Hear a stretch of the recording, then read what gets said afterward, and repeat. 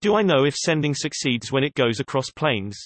The sending spell in 5e states, you can send the message across any distance and even to other planes of existence, but if the target is on a different plane than you, there is a 5% chance that the message doesn't arrive.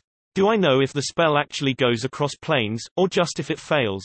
No, the caster does not magically know if their message was received, since spells only do what they say, and sending does not say that the caster knows if the message was properly received, the caster does not know. The text also alludes to it, saying, there is a 5% chance that the message doesn't arrive, not that it didn't send, or that the spell failed. You successfully sent the message, it just got lost. Obviously, since it doesn't say it explicitly, the DM can rule differently. Also, keep in mind that the creature can respond. If the caster is expecting a response and doesn't receive one, they can at least assume something went wrong although that doesn't necessarily mean the 5% chance happened, the creature could be dead or just didn't want to respond or they got the message and their response didn't arrive.